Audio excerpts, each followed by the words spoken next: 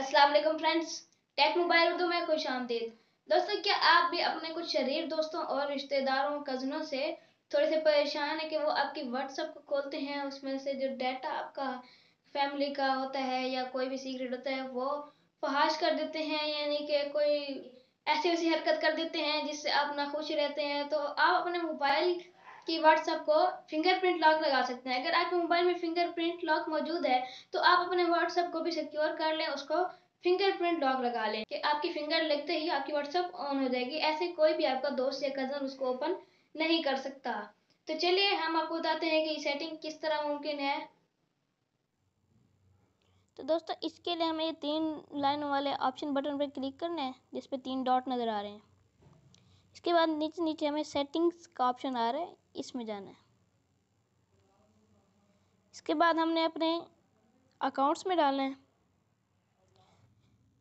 Accounts में आने के बाद सबसे पहले नंबर पे ही हमें प्राइवेसी का ऑप्शन देखने को मिल जाता है। हमने इस पर क्लिक करना है।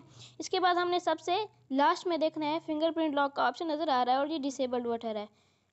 हम इसको ओपन करके एनेबल कर देते हैं। और इसके लिए मैंने अपने मोबाइल में कोई लॉक नहीं लगाया हुआ तो इसके लिए हमें पहले लॉक स्क्रीन के लिए लॉक लगाना पड़ेगा, फिर उसमें फिंगरप्रिंट ऐड करने पड़ेंगे। जब आप फिंगरप्रिंट ऐड कर लें तो उसके बाद इस सेटिंग पे आके आप इस बटन को एनेबल कर सकते हैं। इनके मैं अपना मोबाइल लॉक कर दूँ और अनलॉक करूँ तो उसमें कोई मैंने पासवर्ड या फिंगरप्रिंट नहीं लगाया हुआ।